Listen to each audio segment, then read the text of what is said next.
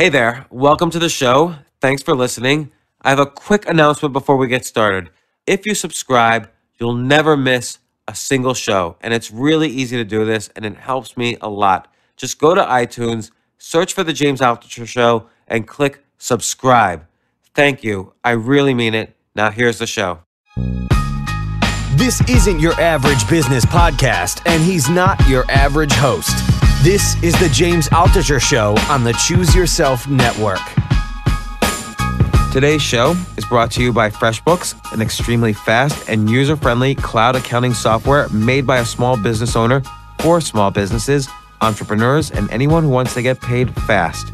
Join over 5 million FreshBooks users who effortlessly create and send invoices in seconds. Just go to freshbooks.com slash James and enter James in the How Did You Hear About Us section. A special thanks goes out to our sponsor, Wonder Capital, an online investment platform that allows individuals to invest in solar projects across the United States. Learn how you can begin earning up to 11% returns at wondercapital.com slash James. That's W-U-N-D-R Capital. Wonder Capital. Do well and do good. Today on the James Altucher Show. It's a, a very difficult um, uh, spiral that I that I enter when I start um, when I do you- start judging myself. On the days you get out of it, how do you get yourself out of it? Or do you never get out? Have you never gotten out of it? We're turning this into a pharmacology report. Um, It's okay. Many people listening to this yeah. need, need a pharmacology report. yeah, yeah. And you must like just bathe in it when you tell a joke and everyone's laughing. yes. Oh my God, I can't believe my favorite comedian is standing right in front of me. You are my favorite comedian. Well, you and Louis C.K. are my favorite comedians. Really? So, Gary That's- Gulman, welcome to the show. Thank you very much for having me on, James. I, re- I really appreciate it. I, I saw the list of people you, you've had on, and I'm just uh, I'm honored. No, but this is the interview I'm most intimidated by. So, Oh, just God. just bear with me. All right. So, first off, let's just get this out of the way. You just had a, a special release on Netflix. It's about time. I've watched it twice. It's incredible. Anybody should listen to it. I hope every single person listens to it. You have such a unique style of kind of creating, I don't even want to call them jokes. Like, is that a weird word, joke? Like, I feel like No. joke is like the same as like shtick. You know? no. like, you tell No. stories that are like unbelievably funny. Oh, thank you. Uh, sh- shtick is is yeah. That's that's um a ne- negative connotation. Like, I think of knock knock jokes when I think of the word joke. But but jokes, I, I like that. I don't mind that at all. I need new jokes. I'll say that frequently. I need new jokes, or I'm working on a new joke, or I'd, I'd hate to go to the next level where you're calling it a, a piece. I have this piece on, yeah. So that's that's obnoxious. So I, I, I prefer jokes to, to just about any other uh, description. Do any comedians say piece? Uh no, Okay. N- not that hang around at my level. No. So, so okay, that's an interesting phrase you just used. My level. What does that mean?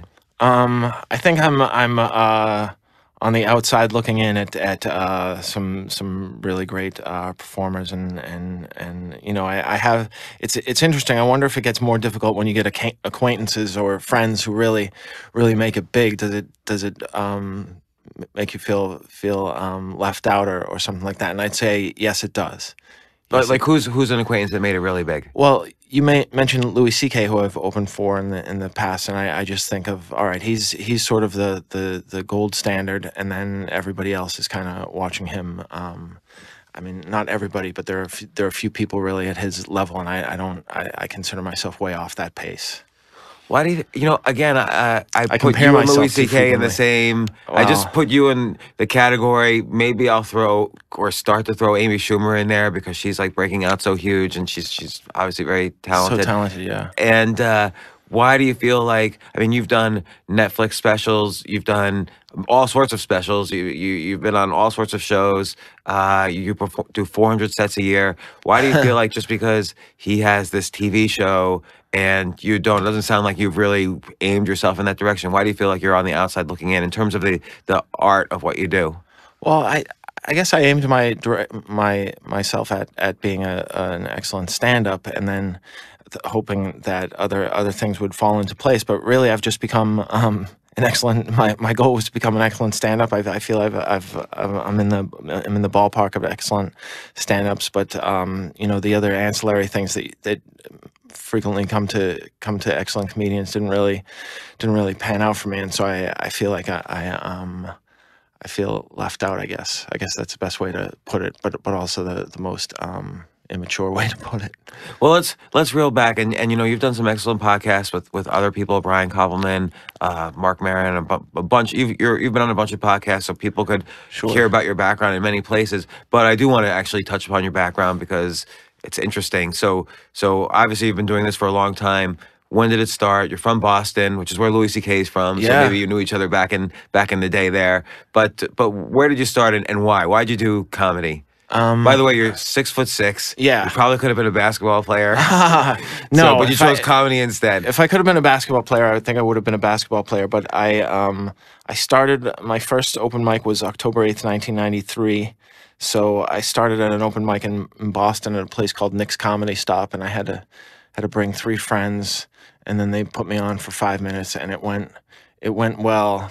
what was some? What was like one joke, one piece? uh, um, I did. I back, back then. I did. I did impressions. So I did impression of um, Seinfeld and Kramer playing playing basketball, and that was like a that was a that was like a, a big. I got a big response. So I was very very encouraged by it, and then. Within a year, I I decided that my impressions were not very good, and that I needed to speak in my own voice, and that's that's when I sort of got on the on the track I'm I'm on now, which is which is um, you know straight stand up, observational type stand up. and do you feel you were early in the observational thing, or was everybody started? Because around like the mid '90s, I feel uh, there was this like almost. I don't want to say renaissance. It seems like the wrong word, but it seems like uh, observational humor got started getting really big, both in all the different comedy festivals I was going to, and and everybody I was impressed with then. Yeah, I mean that that's what I grew up on really. When I when I was a kid, I, my mom would let me stay up to watch the Johnny Carson show, and, and my favorites were were um, uh, Garry Shandling and da- especially David Brenner. I really I really loved it, David Brenner when he would come on the Tonight Show or Merv Griffin or or uh, the Mike Douglas show. So I got really into that type of observational humor. I found I found it easy to repeat to friends and, and family and get laughs off it, which was which was a bit a big part of me me um, starting off just uh, stealing these jokes from from television programs that I had saw as a little kid and, and doing them for my family and friends. So this is almost like the first level of practice that you did. So it's almost like like like take uh playing the piano as an example. It's not like people sit down at the piano and make up their own songs the first thing. Right. They play songs and learn the, Yeah. cr- the the craft of it. I, I hate to use that word. I know that's a, a funny word for you. I heard on Brian's podcast. Oh, yeah, but yeah, they, they learn the craft of Yeah. it from playing other people's songs until it's really great, and they get they see they get the feedback by seeing the response of people like, oh, you play well. So is that how you first kind of started developing the the skill? Yeah, I would I would say so. I, I would say that's where I where I uh, at least built up a love for it and an understanding of how the jokes worked and and um, although it didn't make it any easier for me to write my own stuff when it came time to when I was in my in my twenties, but I did I did uh, probably pick up on some of the timing and and uh, delivery of, of of a lot of those comedians. So, so, so writing, timing, and delivery. I want to get back to those three things. Yeah. But so again, so so you were you were obviously made your friends laugh. You you go through high school. You go through college. What's what's happening? What turns you into a stand-up comedian? You did you did this open mic, um, but why did you decide this is going to be it for me? I I love this more than anything else.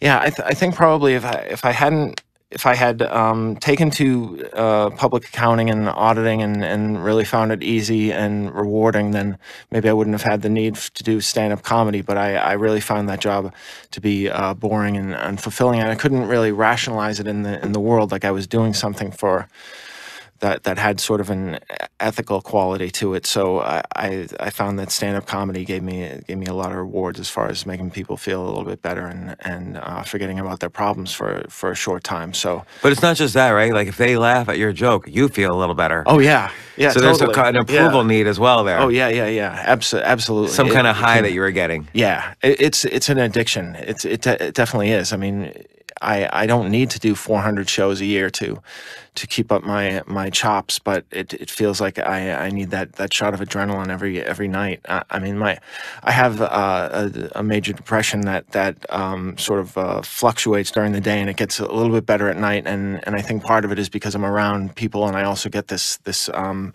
this boost in, in serotonin and dopamine by by doing um, by doing shows for the for these uh, people at night.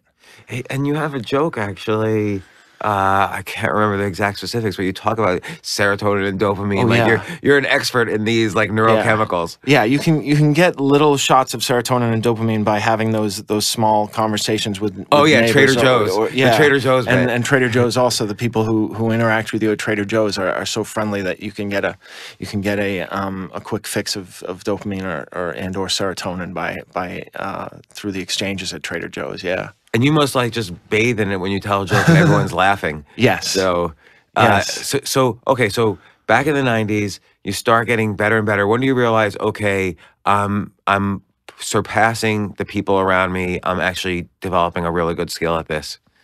Um, I would say probably by the end of 1998, I I figured out what I was doing as far as um, as far as taking a step forward in that in that world, which at the time was the the the um, course was usually you would do, you would do stand up for five or six years, and then you would get management and agents and and either audition for things or a big thing back then was to get was to get development deals to make to make sitcoms. So I I, I got a few of those, and that that that changed my life. That was uh, enabled me to move out of my my mom's house and and move to California and start um, start doing comedy full time.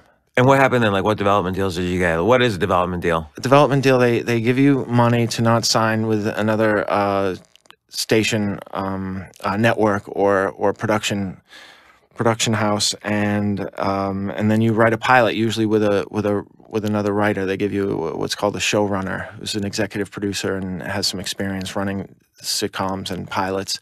And so they, they put you with them, and, and I wrote a pilot with this with this man, and it didn't it didn't get picked up, which means it didn't get shot as a as a pilot. What was it about? It was about a guy who lived at home and was um, trying to start his start his life and and um, lived in the same hometown that he grew up in and had the same friends, and it was it was biographical or autobiographical, and um, it uh, it it was very. Um, it was nice. It was nothing spectacular, and and um, I remember the Fox network passed on it, and and the next year I had a similar situation at CBS, and then I had one at um, Showtime, and and later NBC. So I, I was um, yeah, I was I was popular in that in that circle as far as getting um, deals to develop develop sitcoms that that didn't really pan out, which was very very disappointing. So so so by that point you're somewhere between like 27, 30, 31. Yeah, yeah. What what um this is kind of like a normal period where people have their first what what they would label as a failure. Like everybody, yeah, yeah, yeah. every before that, you kind of like you you don't bl- you blame failures on everyone else or blame oh you're young and you need to learn. But at 30, you sort of start to feel like oh my gosh, I need to already be at the next stage. Sure. So what were you like? Let's say CBS rejected you. This is the third one or the second one. Like what uh, what's going through your head?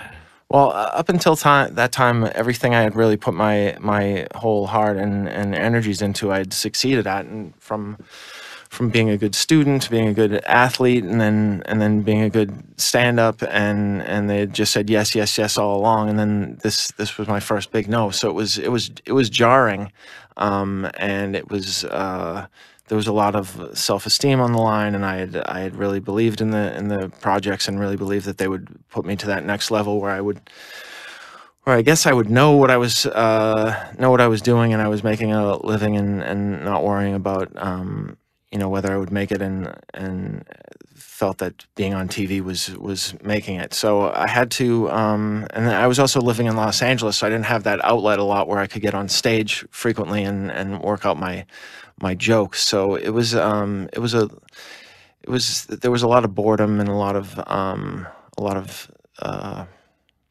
yeah lonely nights and and uh, there, there weren't there was just wasn't a lot to do in Los Angeles at that time unless you were unless you were working. So I, but I stayed there from from 2000 to 2006. Wow, because 2006 is when you moved here, and I feel Yeah. like things. That's like when your biography sort of starts on Wikipedia. Like suddenly you start doing like all these specials and this and that. Yeah. Like did things start to take off as stand up here? Yeah. But, but was that painful to make the decision? Okay, I'm going to give up on LA and go to New York. Um, it was it wasn't so much uh, painful because I, I was I was doing it I was just going to do it for six months, but I, I fell in love or became addicted to the stage time you can get in in New York City. Whereas a, a good week out in LA, I could get on four or five times, and that, that was a really strong week for for performance. And and here, um, I can get on uh, ten times easily, and and without without really. Um, uh, hustling that that much. So again, it's that it's like again, it's not that um, it's so great to make ten groups of people feel good. It's like you needed that Oh yeah, stimulation. Yeah, yeah, yeah. So- yeah. And, and- and a lot of times it, it but it it is just uh, being out with people and interacting with people, even if it's on stage, but but also off stage. I'm talking to the other comedians or the people who work at the club, so I'm getting I'm getting a um, not not the recommended daily uh, allowance of, of of social interaction, but but some social interaction compared to what I'm I'm used to at, at home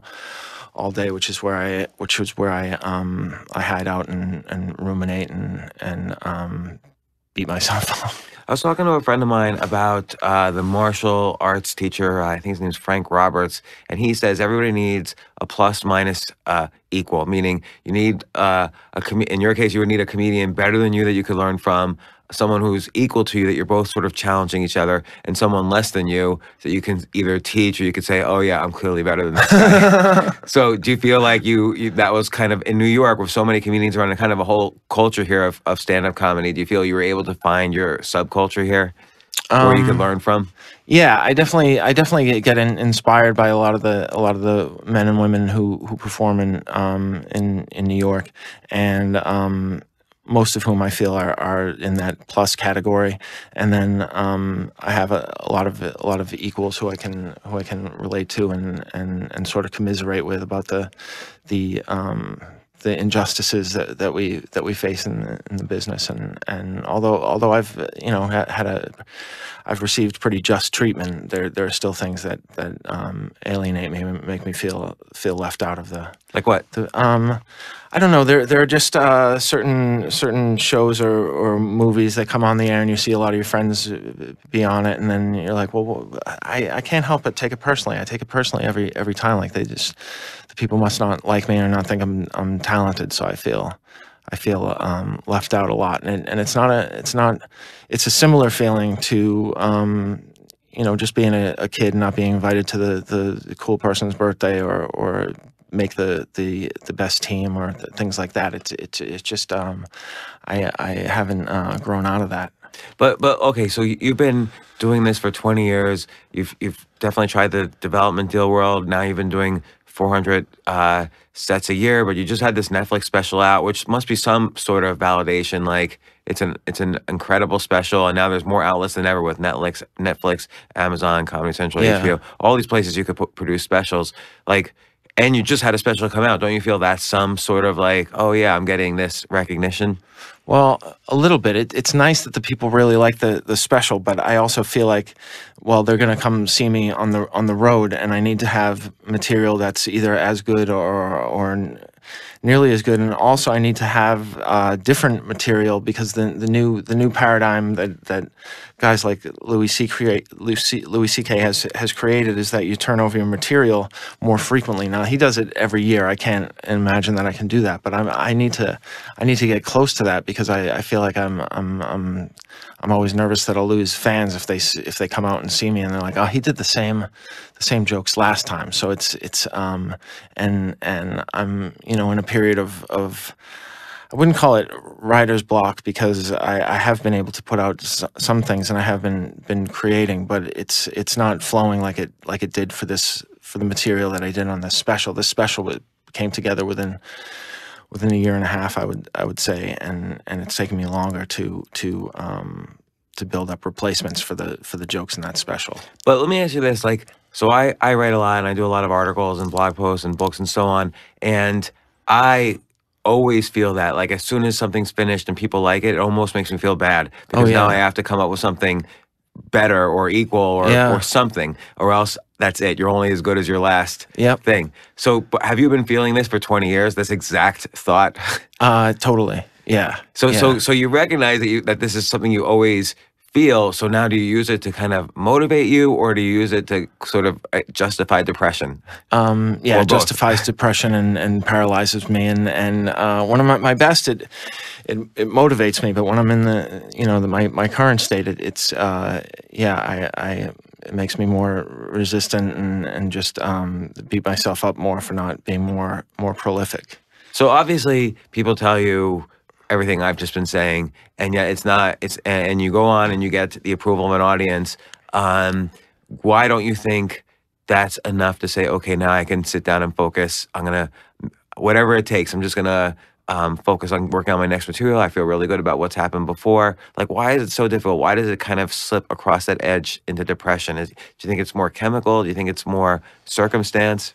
Um, I think it's more. I think it's more chemical because uh, my um, I, I have actual actual symptoms of d- depression. Not not really a down day, but my mind is working slower. I'm moving. I'm moving slower. I almost feel like I'm moving in in slow motion. I'm I'm not. Uh, I'm not able to um, to uh, get enough sleep. There doesn't seem to be an amount of amount of sleep that's that satisfies me, and and so I, I think it's more um, it's an actual actual depression that I think arose from from finishing my last my last special, which I, I actually the the special that just aired was recorded last last year in 2015. So um, it, it took a while for it to come out, and I and I and I um, as much as people tell me they they really like it, I um, I could I could pick it apart all day long and find and find the flaws in it. So it doesn't.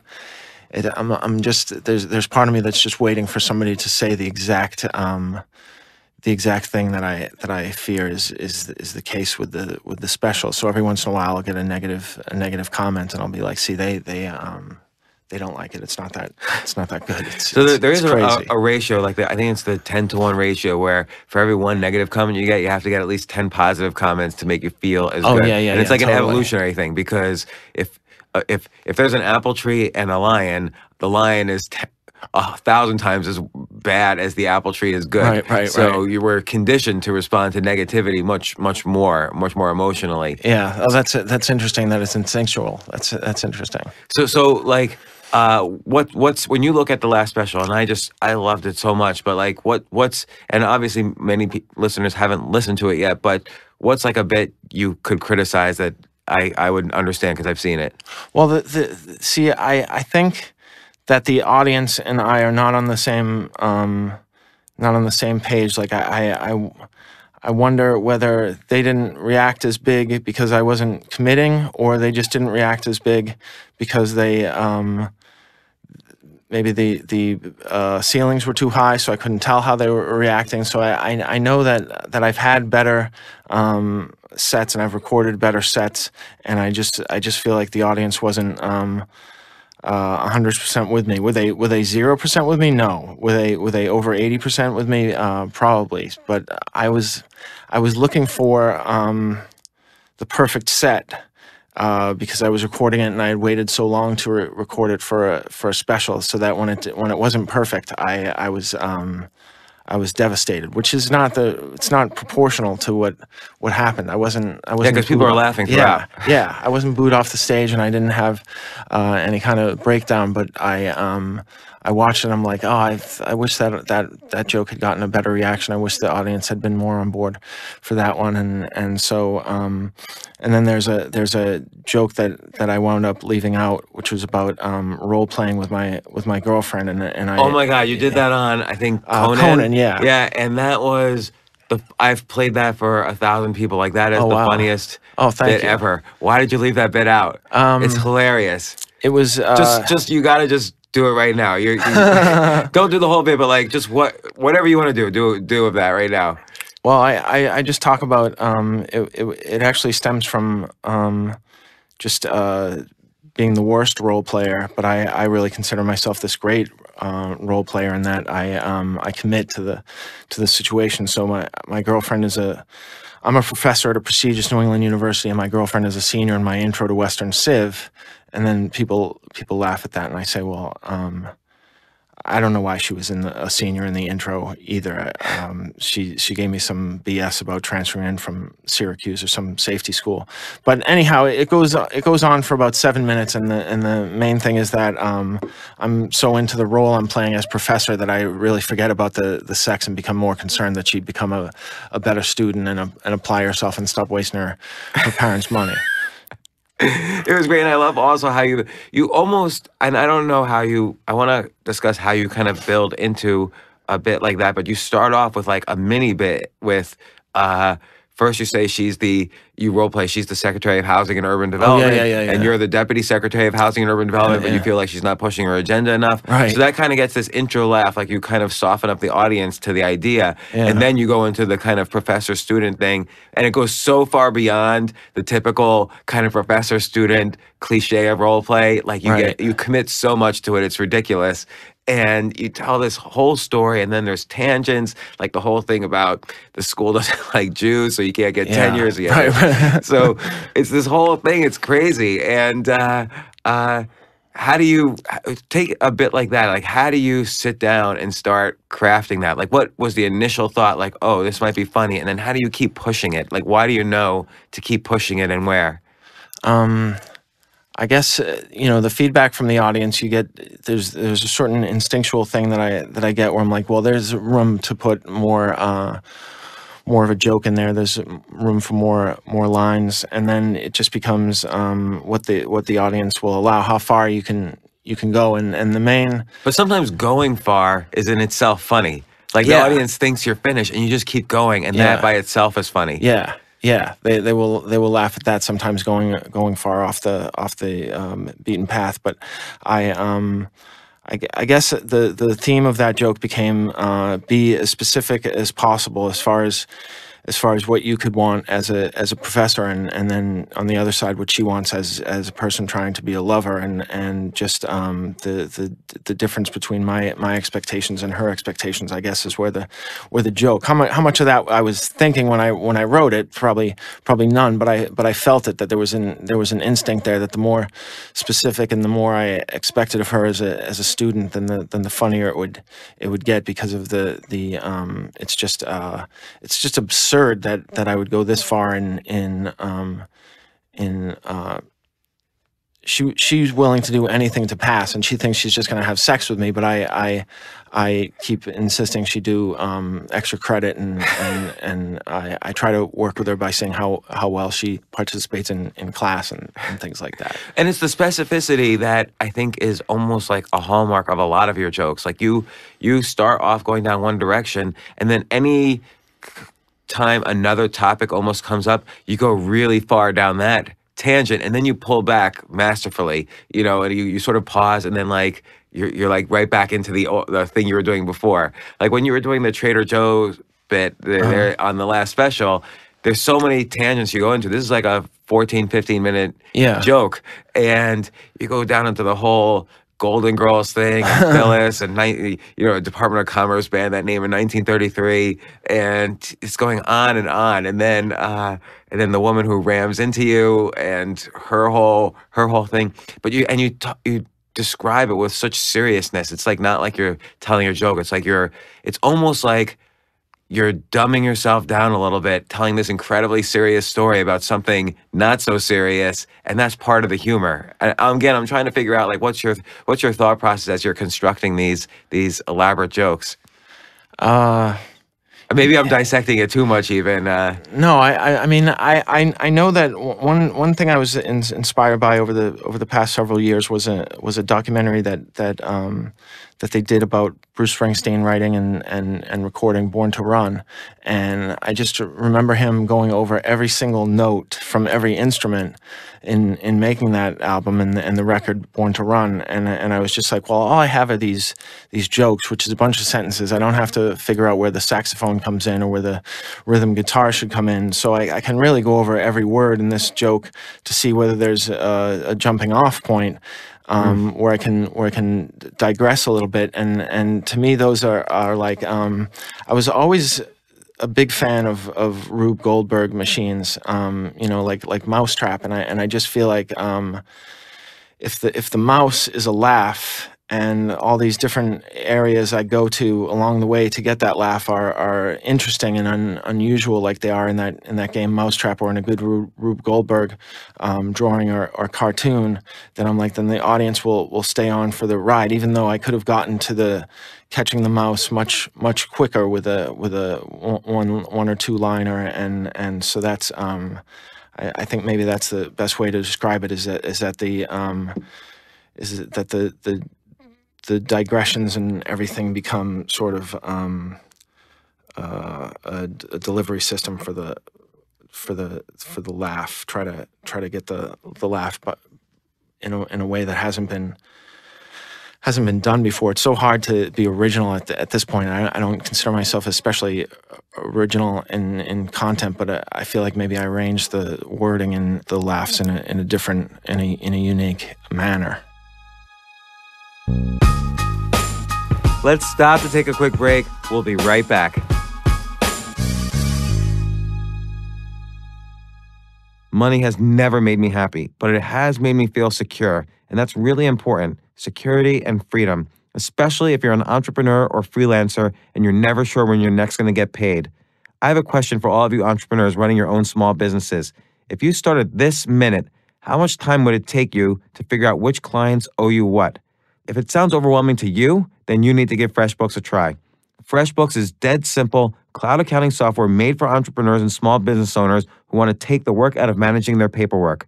Join over 5 million FreshBooks users who effortlessly create and send invoices in seconds. No formulas, no formatting, no fuss. Plus, FreshBooks has the best customer service. Your call will be answered within just a few rings, guaranteed.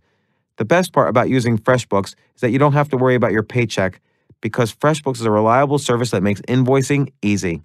Right now, FreshBooks is offering a free 30-day trial to my listeners. Just go to freshbooks.com slash James and enter James in the How Did You Hear About Us section. I really don't get dressed up for anything. Even when I had an office job, I was the worst dressed person in the office. I think I even got a trophy for that, or maybe that was just in my imagination. The most I'll do is wear a lab coat. I don't wear suits, I don't wear ties because traditional menswear doesn't make it easy. I can't even tie a tie. It's also all that clothing is too stiff and restrictive. The discomfort is a distraction at a time when you need to be able to focus. Ministry of Supply has set out to fix this problem. This means clothes like dress shirts and slacks that wick sweat, breathe, and stretch with your movements. Their Apollo dress shirt has NASA invented fibers that regulate body temperature based on your surroundings. It's better than a lab coat, and I bet it's more comfortable than what you wear to work. Visit ministryofsupply.com slash James and get 15% off your first purchase using code JAMES15. Or visit one of their stores in Boston, San Francisco, and coming soon, Washington, D.C. And by the way, if anybody from Ministry of Supply is even listening to this podcast, Please open up a store in New York as well, but for now, I'll buy your clothes online. In 2010, I wrote an article not about global warming, but about global cooling. And then my friend Tim Sykes interviewed me about it. He asked me why I'm analyzing how to profit from chaos and a future apocalypse. I don't even remember my answer, to be honest. And my answer now would be different because my life changes pretty much every six months. Your life could change too. One way my life changes, I'm always trying new things. Look at technology, it's constantly accelerating. Every year, computers are getting faster and faster, cars are starting to get automated, solar panels are getting more efficient. Everything is changing. And when it does, it creates huge opportunity. Imagine if you could do something like help global climate change and make double digit returns at the same time. Now you can. Introducing Wunder Capital, that's W N D E R the Techstars backed online investment platform that allows individuals to invest in solar projects across the United States. Your investment with Wunder goes directly to helping healthy U.S. businesses install solar panels. As those panels repay their loans to Wunder, you receive steady monthly cash flows in the form of interest payments. Since the beginning of the year, Wunder has originated over $25 million worth of solar projects. Wunder has two funds available the Wunder Income Fund, which returns 6% a year during a 10 year period, and the Wunder Bridge Fund, which returns 11% a year during a two year period. And best of all, Wunder doesn't take any fees for investing your money. Learn how you can begin earning up to 11% returns at wundercapital.com slash James. Wunder Capital, do well and do good. What is originality in content? Like, take Louis C.K. for instance. Okay, people have been complaining about their kids and babies forever. Yeah. Uh, take any ethnic uh, background. Everybody complains about their ethnic background. Uh, you don't do it so much. You're Jewish, and you you definitely have like a set of Jewish jokes, but like, you know, it's- it's not a big part of your act. I feel, and uh, again, so like like with this uh, role play joke, and again, I, I people could go, Google your or YouTube your um, your clip from Conan where Yeah. it's just like perfect, and you start off again. You could have ended with the. the or you could have pushed the Secretary of Housing and Urban Development thing, but you switched right into Yeah. another thing, which was the student teacher thing, and then that kept going into tenure and, like you say, extra credit, and uh, you know why, you know why is she a senior, but in your intro to Western Civ class, like just all these ridiculous things, and it's interesting. I didn't think of it that way. It's sort of like you took each word and almost looked at it how Bruce Springsteen's looking at these notes and figuring out what else to do with it, and it's an interesting way to to do it. It's almost I'll say another example. It reminds me of. Did you ever read, read The Godfather by Mario? Oh yeah, Puzo? yeah, yeah. I loved it. He yeah. he do- and, and he does that in the book, and, and they don't do it in the movie. But like he'll go off for like ninety pages Oh, yeah. on that woman's like you know vaginal tightening Yes, surgery. yes, yes, yes, yes. So, and that's And never in the movie, obviously. It's it's it's in the movie, um, sort of referred to in in the fact that she's she's very attractive to Sonny, who it's clear in the movie has a has a, a big member because his wife gives the, gives the um, uh, indication with her hands how big it how big it is. Um, so that's the only sort of um, uh, evidence that that this that this woman is is is different. But but yeah, that that's that's a long a long and drawn out digression in, in the Godfather, and it really makes yeah, like like a ninety-page digression. Yeah, and he never did that in his prior two books, which weren't successes. Like that Oh, was his first book, was a success, and he went on all these digressions. Yeah. And so it's interesting the digression thing. I never, you know, because again, most comedians they kind of tell their story, they tell their joke, and then they go on to the next. And you give yourself, I think, a lot of power by pushing and pushing on the one idea. And again, that structure in and of itself is funny. And and it requires timing. So let let's go into the timing thing because you'll go down this whole way, which which will lead to you know you're angry, you're telling a joke, there's laughter coming, and then there's almost like a pause. You have like your finger up, and then you're back to the the old the original joke. So Right. like what what what is timing? What's the difference between a, a good comedian with timing and a not so good comedian with timing? Uh, Maybe that's a broad question. I don't know. Yeah, I, I I don't know. I know that I do use timing. I don't. I, I think it's more, um, and I don't think it's instinctual. I think it's something that I've improved with uh, over the years, and just being in front of, uh, getting all the repetitions, and, and being in front of hundreds of audiences a year. Um, but uh, I'll still make some mistake with with timing. But it's just it, timing is a matter of when you say the when you say the punchline, or when you when you. Um, when you take a, a step off the off the um, the, the main story and, and digress and, and so there there um, yeah there are a lot of timing issues but I, I, don't- I don't feel like that's something that I that I concentrate on or or, or have to make um, conscious You feel like it's like real subtle changes as you see audience after audience react to you. Then you kind of almost make these. Uh, Yeah. So it's, it's interesting. I watched. Um, this is almost like a before and after. I watched uh, Anthony Jeselnik do some stand up when he was still a writer for um, I forgot what show, maybe Fallon. I think Fallon yeah Yeah, so he was doing some stand up then, and that now he does his own specials. Yeah. And you see the one main difference is timing. Like he's Oh, wow. much quieter between he'll pause a lot more, almost uncomfortably. And you have your own uncomfortable pauses almost. And and it seems like that's a big key in this is being confident enough in your material to pause.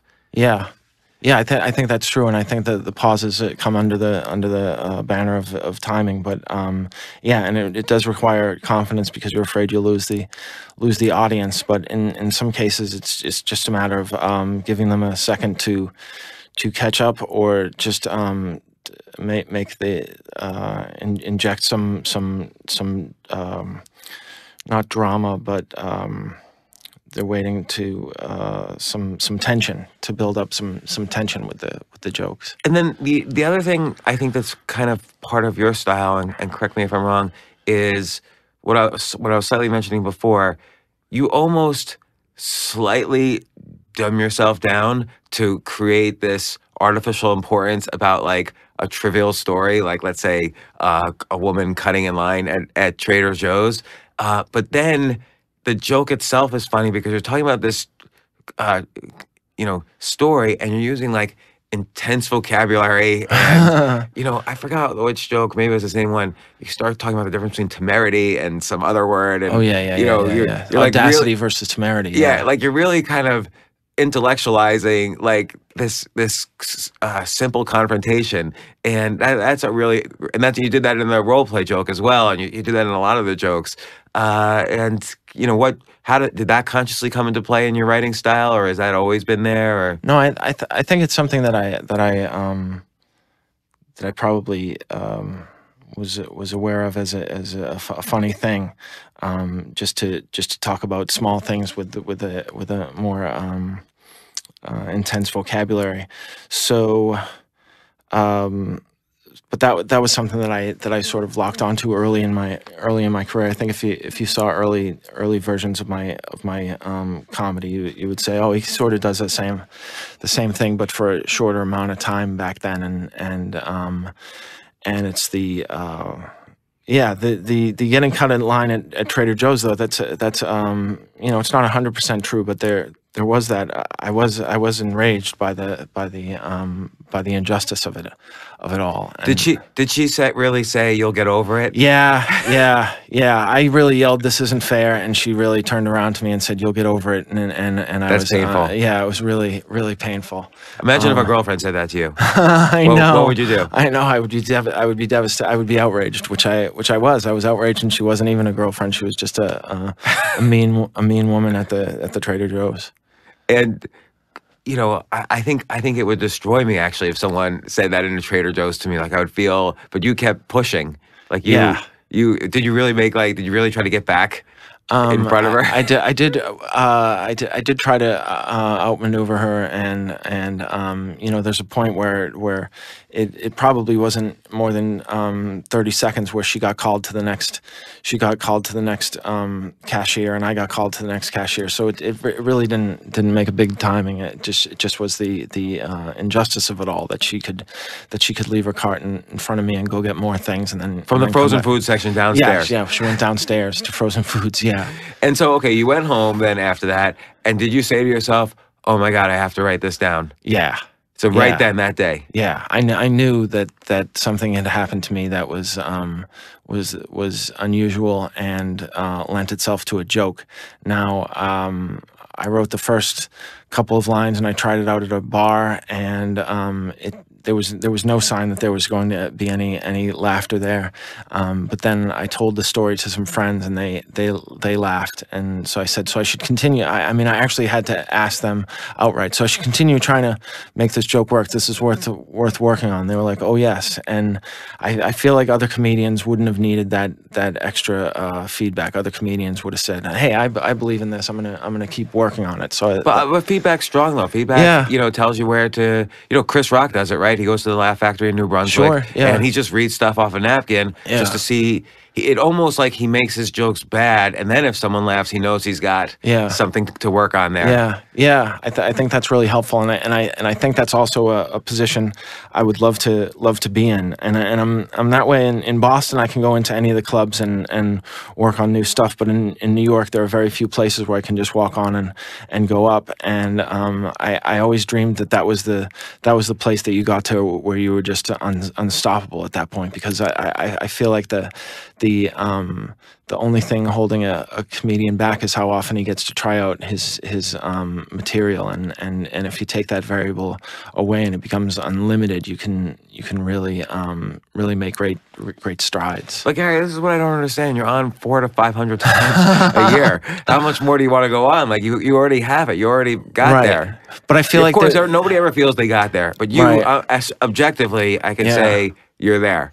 Yeah, I just, I just, when, when you talk about Chris Rock going in with a with a list, I can't just go in with a list and, and have people pay attention. I have to bring the bring the goods, at least for the most part, so that I can work in. What I do is sort of work in um, the new things in between things that I that I'm fairly certain will will will work because I, I'm still largely um, unknown. I, I can I can walk around the city and and and not get recognized all, all day, whereas Chris Rock would be would be mobbed on on every corner. So there is, I'm not, I'm not saying I need Chris Rock's uh, fame to be satisfied, but the the fact that he can go in and, and try out his new things at any any club uh, any day of the week is is um, a, a, great advantage that he has over somebody at my at my level. Do you think there is a level in any area? But let's talk comedy. Do you think there is an, a, a level where you hit that level and then finally you can say, okay, I'm happy. I'm I'm happy. I'm at this level. Um, yeah, because I think I've I've gotten to it at, at certain points. Like a, like I, felt when I was getting those development deals, I was like, all right, this is where I should be um, at at best in my in my career is, where these other comedians of my age and ability are getting development deals, and I'm with them getting the development deals, and and now now I feel like I'm in a, a, a big a bigger um, group of people who've sort of been through that and and and not um, gone on to um, you know traditional fame and, and fortune. But let's take a look at like um, someone like uh, Jim Gaffigan's career. Obviously, yeah. great stand up. Amazing. Great stand up for many years. He also yeah. wrote a couple books that were very funny, which is yeah. basically his stand up act. But right. it's only in the past year or so he's got the Jim Gaffigan show. Right. You know, and he's, how old is he? He's like the same same age as us or maybe a little older. I don't know. Right. Yeah, probably and, the same age as me. Yeah. Yeah. So it happens over time. Yeah. You know, like it could happen next year. You don't know. You just keep keep going at it. It's it's possible. I just I just don't. Um, and he's on some weird channel too. It's not even like a traditional comedy right, channel. True. It's like Nickelodeon or something. Yeah, yeah, yeah, yeah. Uh, it's it's true, and, and he's someone I admire I admire very much. But I, I just feel like there there's so many so many hoops to jump through in between where I am and where where he is that I, I just feel it's it's um it's overwhelming and and and daunting and and um I I um I hope I won't need it to to be um to be satisfied or feel like I've I've made it. Well, so so when did it's it's it's it's it's a it's a long shot. Why do you think it's a long shot though? And, and again, I say this, you know, you just had a special release. It's, I'm sure it's doing well. Uh, it's written about, like it's great. Uh, you have you're on any talk show you ever want to go on to. It seems to me like you Google you and you're on every single talk show. Uh, what what does it take to go from here to there?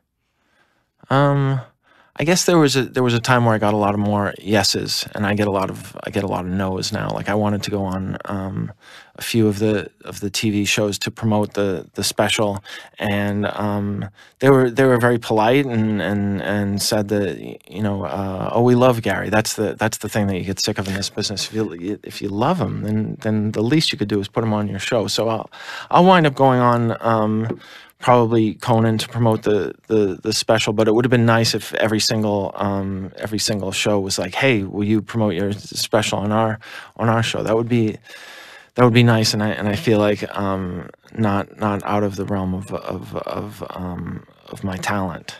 Well, I feel like I feel like with many areas now because of the internet, like let's say you write books you can't just write a book anymore you now have to go on like speaking yeah, tour right and you have to um, write blog posts and articles for all the different websites do you feel like you need to do extra stuff outside of stand up like you focus so much on stand up do you yeah. feel like now you need to do a book or uh, I don't know. I don't know what else. Try out for roles on. Yeah. I'm just making it up, like roles on sitcoms or whatever. No, I think I think all those things are really really helpful and and part of the whole part of the whole package. And I guess I'm I'm um, I'm uh, there's there's sour grapes in, in in that I think oh I just wanted to be a, a stand up and they're making me do all these things that aren't stand up. They're not making me making me do anything. All those things are are very fun, but they're um, they're uh, they require auditioning and preparation and and uh, or just um, you know in the in the idea of a book just sitting down and, and and spending a lot of time with my with my thoughts which is very very difficult for me because I I, I have um, you know these ruminating negative th thoughts where I where I um, I don't they um, they really overwhelm me with with um, depression many many times. So like what? Like what? Like what will be a thought today, like or yesterday, that just sort of brings you down and doesn't let you work or focus? Um, I have, you know, when I write write things down or write a joke, I'll I'll just um, I'll just think, well, this has been this has been done before. This is very similar to to what somebody else talks about, and and um, I don't know if the audience is going to like this, and if if they do, I really need to to uh, to step up my game because this um, because it's not as good as the stuff that was on the special, and and and and then I get into the well, and you didn't even think the special was so good, and and and it's just uh, it's it's um, it's a very difficult um, uh, spiral that I that I that I enter when I when I start um, And then I do you- start judging myself. On the days you get out of it, how do you get yourself out of it? Um, Or do you never get out? Have you never gotten out of it? I don't I don't know that I've ever gotten out of it uh, fully. I just um, you know it gets to be a point during the day where I where I just naturally start to feel a little bit a little bit better if, after being you know there's there's um, there's a rhythm to my depression so that it's it's very bad in in the morning when I get up and, and it's hard to function and then as it gets uh, further away from from sleep the depression um, lightens a, a, a little bit so that I can do my shows at night and I can I can interact with with other people and then and then um, and then it resets first thing in the in the morning. It's like a, a groundhog day, Which is almost the, the opposite of what it should be. Like you would think sleep would rejuvenate you. yeah And at night you sort of lose, you know, there's kind of what's called willpower depletion. And, you know, you have all sorts of depletion in your mind until you sleep again. Yeah. So, uh, like, what does a doctor say? Like, why does it start for you in the morning?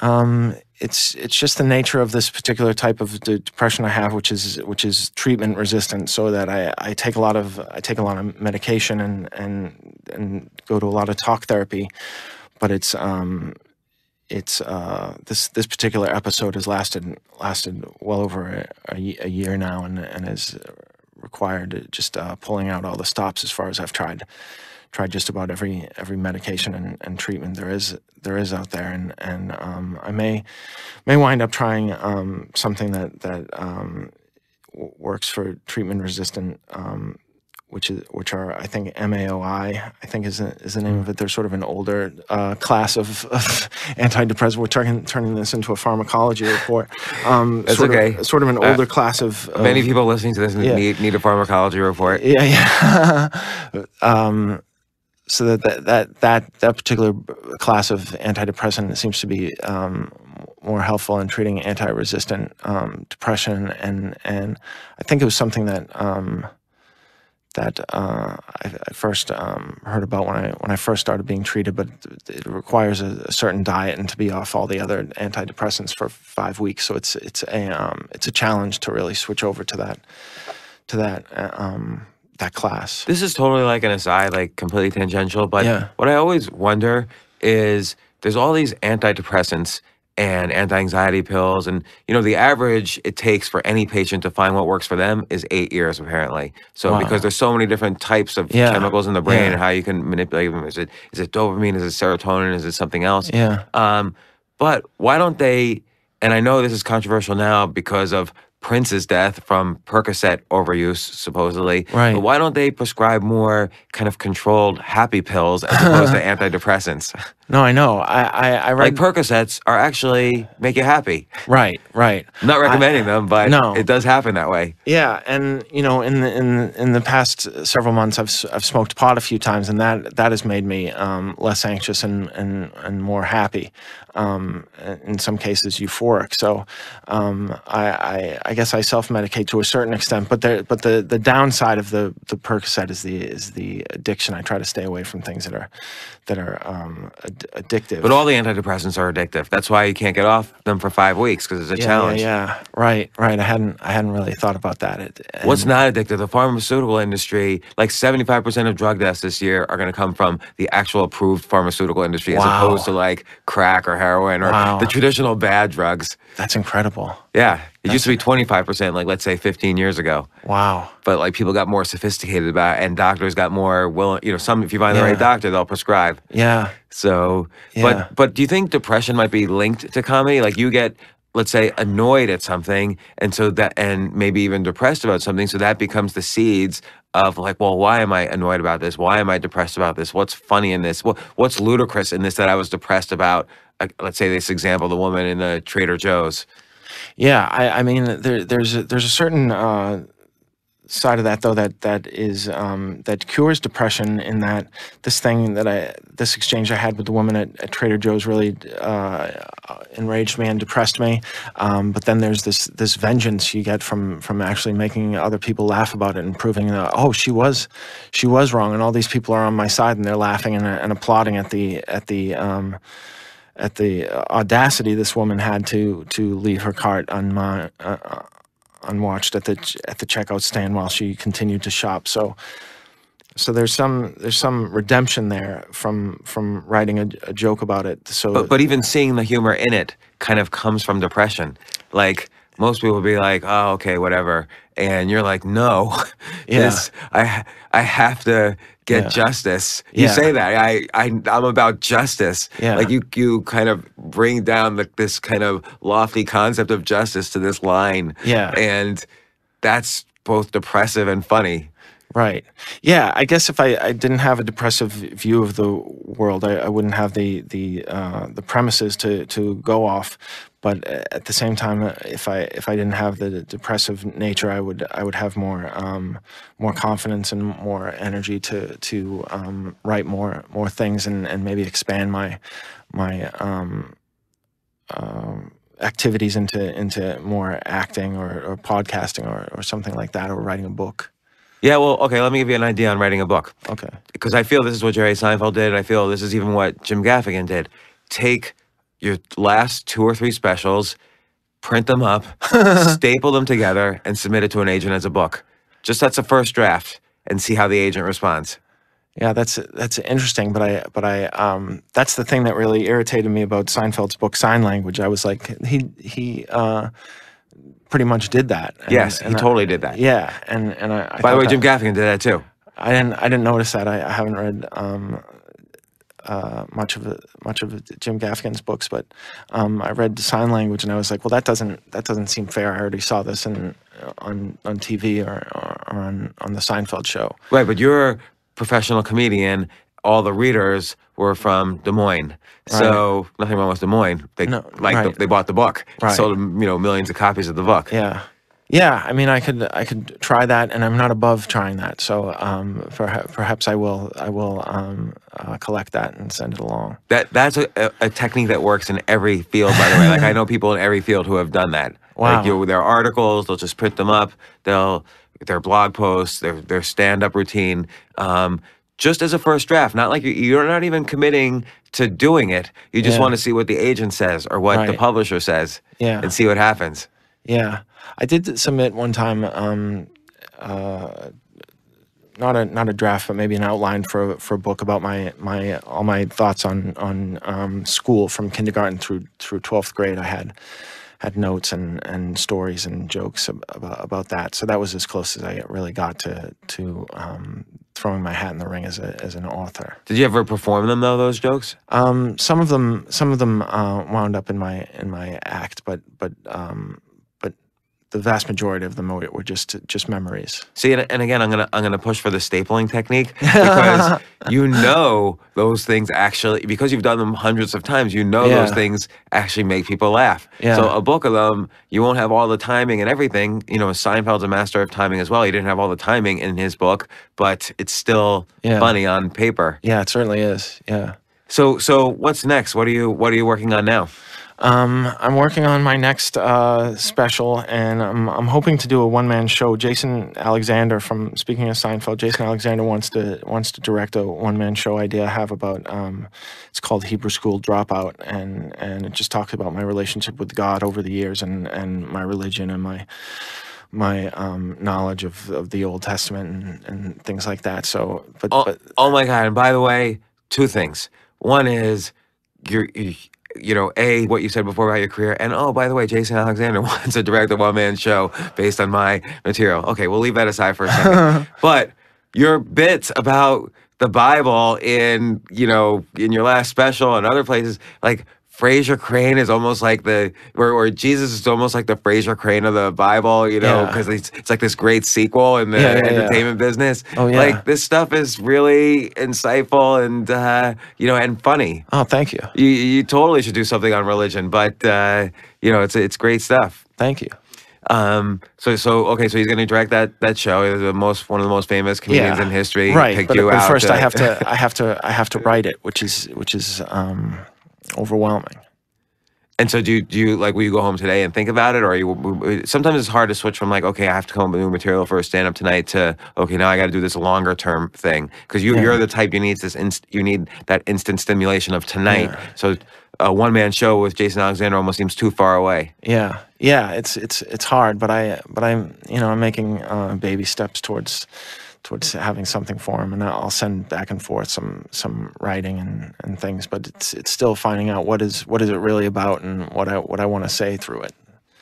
And how does um, uh, this is a little tangential also, but your kind of you know success that's that's still blooming as a stand-up comedian and and other things, and mixed with this depression, like I, uh, you're obviously in relationships and stuff. Like, how does the person you're with kind of deal with the back and forth? Um, she's uh, in- incredibly supportive. I mean, I, I, you know, I, I, I ask her fre- frequently how she can how she can tolerate my my my moods because um, a, lot of time I'm just not I'm just not there, and um, so so I've never been more convinced that somebody loves me just because what, what she's had to um, en- endure over the over the past year. But at the, at the same time, I'm, sometimes think um, I'm doing her a disservice by by holding on to her. That that um, You can't think that way. no, I know, I know. That's hard because because maybe she also likes you know being a caretaker in some sense. Not that you need caretaking, Right. But you know that could be something that actually is, Yeah, but there is a, there is a caretaking aspect to it. Yeah. So okay, so Jason Alexander, potential one man show, potential book. Uh, What else? Um, I don't know. I'll, I'll probably keep auditioning for, for some TV and, and movie things, and and um, hopefully just uh, I'm gonna do another another Conan uh, appearance this this summer. So so that's what I'll be working on, and then just trying to get better as a as a stand up and write write newer stuff. And and how do you now get better as a stand up? Like where do you feel? And again, I'm always interested in kind of like peak performance at like this mastership level. Like how do you keep fine tuning your skills to to become more of a master at what you do? Well, I, I was I was thinking recently that that maybe the one man show was the next thing because a one man show is almost like you're you're taking a um, a small part of your what you would do in an act in a comedy and really expanding it, which is which is what I try to do with my jokes in general. But in, instead of doing 15 minutes on Trader Joe's, I would do an hour on. It wouldn't be on Trader Joe's. It'll be on the the Old Testament and my experience with with being a, a, a Jew in, in America at the time. I I am so. Um, that that's what that's maybe the next maybe the next step is to is to take the take the um, the um, microscope and and and um, ex- expand the this the scope of it and and and maybe maybe do more and and more of that um, I like, I like how you say it's a microscope because it's like you it's like what you were saying earlier. You kind of have the joke, but then you hone in on each word and see where you could Yeah. uh, digress. So like again, and we keep talking about the Trader Joe's bits, and nobody knows what we're talking about unless they watch the net, Right. Netflix special. But right in the beginning, you say like. Trader Joe's is like Narnia, and Yeah. then you go into which particular Narnia. Then you go into, by the way, a biblical bit Yeah. about Narnia and you being a child, and then finally you're back. But then I was on the line at Yeah. it's coming all the way back, Right. and uh, it's you don't really see that in a lot of comedians. I feel like, and to some extent, some of your style is similar to Seinfeld's in that you'll play with language a lot. Yeah. uh, you'll play like he'll you'll do that thing where. You'll have many different words to describe something. Just he used to do that as well. Sure. And that in itself is also funny. Kind of all the ways, you know, the hundred different ways, you know, Jewish people describe loser. Oh, right, Uh, right, right, It was yeah. very funny how Oh, you did that. you. And uh, uh, but he'll do something where he's playing with words like that, and I feel that's very Seinfeldian. But you you take it to a new level um, because it's it's almost athletic the way you take it because you're Oh, saying so you. many words. oh thanks That's funny. Um, but uh, but yeah. So look, Gary, thanks so much for Oh, thanks for having me. my This show. was an honor. You're a great, great interview. I really, I really like listening to you, uh, even when I'm not not the subject. Yeah. Well, well, Uh, I like all of your stuff. I've watched. I've had. I've sent out links to your YouTube videos and Oh, your that's really generous so of you. Thank you. times. And Thank uh, you. who who are your comedians that you admire? So you've mentioned Louis C.K., but yeah, uh, Louis and Maria Bamford, and um, Oh, I love her, actually. Yeah, yeah, she's she's incredible, and um, trying to think who else is is uh, incredible. Jim Gaffigan and and uh, the late Mitch Hedberg, I love, and and Steven Wright, and and just uh, there's there's so many that I'm probably it's Doug Stanhope that I'm leaving out, um, but but they're they're just uh, uh, we're really in a golden age of, of stand up comedy and and um, Seinfeld and the late Garry Shandling and just uh, it's really too many to And it- to mention. Is it too much to ask? Like, what what books would you recommend if someone was kind of interested in learning more about just this art? Um, I'm trying to think.